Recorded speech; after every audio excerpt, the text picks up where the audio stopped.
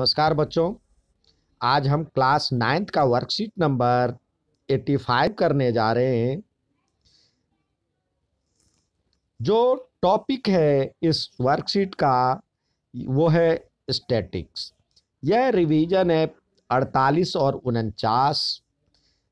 व number 48 and 49 number जो worksheet आया था, उसका रिवीजन है। ये चैप्टर बहुत ही इम्पोर्टेंट है। इसमें बच्चों के पूरे के पूरे नंबर आने की संभावना होती है और इंटरेस्टिंग भी होती है। हर वो बच्चा इसको करना चाहता है और कम से कम अटेम्प्ट ज़रूर करता है हर बच्चा। या नंबर आए या ना आए, लेकिन अटेम्प्ट ज़रूर करता है। तो इसलिए ये बहुत इम्पोर्टेंट है। यदि आप उसको थोड़ा सा भी ध्यान से बनाएँ तो पूरे के पूरे नंबर आने की संभावना है। सबसे पहले इसमें जो वर्कशीट में सवाल है, पहले तो क्वेश्चन नंबर एक से लेके पाँच तक इसमें ऑप्शन वाला मल्टीपल चॉइस क्वेश्चन है। ये कुल इसमें वर्कशीट में दस सवाल हैं। उसमें से पाँच मल्टीपल चॉइस वाले क्वेश्चन हैं। तो आइए पहला सवाल से शुरू करें। इसमें दिया हुआ है फैक्ट्स और figure collected with a definite person purpose are called कोई भी डिप पर्पस के लिए, कोई डिफिनिट पर्पस के लिए, कोई थीम लेकर के डिफिनिट पर्पस के लिए, यदि आप कोई डाटा कोई चीज़ इकट्ठा करते हैं तो उसको कहते हैं हम डाटा।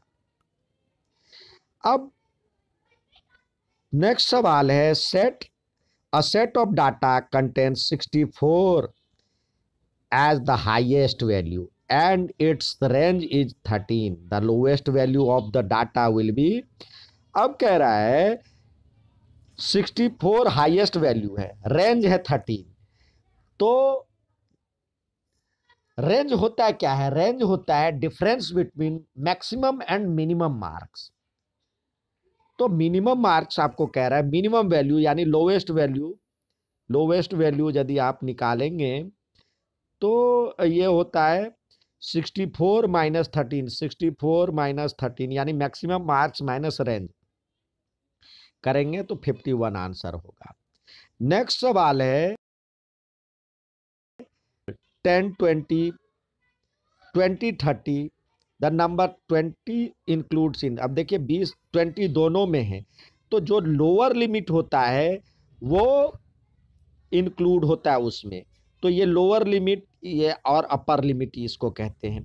तो देखिए, इसमें तो ये अपर लिमिट है तो इसमें नहीं आएगा। लोअर लिमिट इसमें है तो लोअर लिमिट वाला इंक्लूड होता है, यानी 20 से 30 में है। अब नेक्स्ट सवाल है The mark obtained from 17 students in mathematics test are given below. सत्रह बच्चों का जो है, उसमें नंबर दिया गया है, जिस मैथ के टेस्ट में जो लाया है तो कह रहा है रेंज बताने के लिए तो इसी की तरह है रेंज क्या होगा मैक्सिमम में से मिनिमम सब्सट्रैक्ट कर तो मैक्सिमम हंड्रेड नंबर का है, और मिनिमम आप ढूंढेंगे तो ये आता है इससे भी छोटी वाली आपको दिखे तो आप ज़रूर देखें। सबसे छोटी और सबसे बड़ी, दोनों का अंतर जो आएगा वो रेंज कहलाता ये है अंतर। नेक्स्ट सवाल देखते हैं, क्लास मार्क क्लास मार्क क्या होता है? क्लास मार्क होता है जो इसके ठीक मिडिल वाला तो उसके मिडिल वाला आपको निकालने के लिए 130 प्लस 150 को दोनों को प्लस कर दे और दो से डिवाइड कर दे तो इसको प्लस करेंगे तो 280 280 का आधा 140 होता है हाफ़ अब सिक्स क्वेश्चन कह रहा है classify the data classify the data given below as primary and secondary data primary data किसको कहते हैं? जब डाटा कलेक्ट करते तो उसमें आपका आप यदि डोर टू डोर जा करके या जैसे भी हो आप खुद इकट्ठा करते हैं तो प्राइमरी डाटा कहलाता है। और सेकेंडरी डाटा कहलाता है जो कि वो किसी दूसरे पर्पस के लिए वो यूज़ किया था। लेकिन आप अपने पर्पस के लिए उनके रिकॉर्ड से, उनके द्वारा इकट्ठा किया गया जो रिकॉर्ड है, डाटा है, उससे आप लेकर के अपना जो पर्पस है वो फुलफिल कर रहे हैं तो उसको कहेंगे सेकेंडरी डाटा पहले उसका यूटिलाइज हो चुका है। अब देखिए, अब पहला कह रहा है जो कि shoe size of ten student of class nine shoe size आपको सब बच्चों से पूछना पड़ेगा, देखना पड़ेगा तो ये आपका प्राइमरी डाटा कहलाएगा। प्राइमरी डाटा को हम पी से मार्क कर रहे हैं। Blood group of any twenty of your friends blood group. तो ब्लड ग्रुप आपको तो पता है, या तो ये उसको है ब्लड ग्रुप। वो पहले से पर्पज से यूज़ मतलब वो अपना जो है, कहीं ना कहीं चेक करवाया था और उसको पता है। तो वो ब्लड ग्रुप कहीं ना कहीं उसके पास है, लेकिन बीस बच्चों का नहीं है। तो बीस बच्चों के लिए आपको पता करना होगा। इकट्ठा नहीं है तो ये प्राइमरी डाटा हो गया। Number of members in family of your classmate आपके क्लासमेट के बच्चों, परिवार में बच्चों मतलब लोगों की संख्या। तो ये भी आपको डोर टू डोर जा करके बच्चों से फेस टू फेस होकर के बताना पड़ेगा। तो ये भी प्राइमरी डाटा हो गया। लेकिन mark obtain by thirty students in mathematics text तो ये मार्क ऑप्टेन था बच्चों से। वो क्लास में यूज़ हो चुका है। जब रिज़ल्ट एनालिसिस होता है तो यहाँ रिज़ल्ट रूम से एग्ज़ाम रूम से आप कंसल्ट करेंगे तो ये आपका हो गया सेकेंडरी डाटा इसी तरह number of plants planted by hundred school during Van Mahotsav. Van Mahotsav में जो हंड्रेड स्कूल का है, वो आप कहीं रिकॉर्ड से देख रहे हैं तो ये सेकेंडरी डाटा होगा। अब नेक्स्ट सवाल देखते हैं। सेवन टू टेन जो है बनाने के लिए है, आप देखते हैं हम उसको।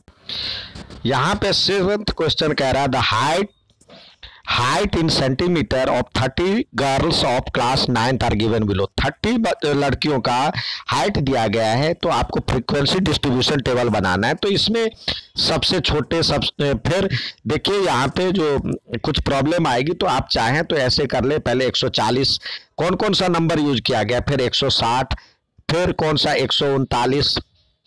फिर एक सौ तिरपन, फिर एक सौ छियालीस, फिर 150 जो जो आ रहा है वो यूज़ करें। 148 ऊपर नहीं आया तो 148 तो इस तरह से हम नंबर को देख लेंगे कौन कौन सा नंबर यूज़ किया गया है। यदि आपके पास क्वेश्चन पेपर में दिया गया हो, जो आप जो टेबल है, वो क्लास इंटरवल के हिसाब से बनाए तब तो आसानी होती, लेकिन यहाँ पे आपको कौन सा नंबर दिया गया, कितनी बार दिया गया, उस तरह से बनाना है। तो थोड़ी सी इसमें दिक्कत होती है तो दो मिनट इसमें लगा ले तो इससे आपको सुविधा होगी। अब देखिए, इसको हमने बनाया है। ये है क्वेश्चन नंबर सेवेंथ का। ये यहाँ पे लड़कियों की लंबाई यानी हाइट ऑफ़ गर्ल्स लिख सकते हैं सेंटीमीटर में। और ये इसको मिलान चिन्ह को टेली मार्क कहते हैं, इंग्लिश में टेली मार्क और ये फ्रीक्वेंसी कहलाता है। टेली मार्क में क्या होता है? ऐसे लगाते एक, दो, तीन, चार और पाँच। इस तरह से काउंटिंग होती है। और उसका हम प्रयोग करते हैं। अब इसका यूज़ करके हमने बनाया और यहाँ पे देखिए तैतीस बच्चों का है तो यहाँ टोटल तीस होनी चाहिए इसकी बारम्बारता तो इस तरह से बनाए। अब नेक्स्ट सवाल देखते हैं। अब नेक्स्ट सवाल है, कह रहा है the pi value of pi pi की वैल्यू 35 डेसिमल प्लेस तक दिया गया है।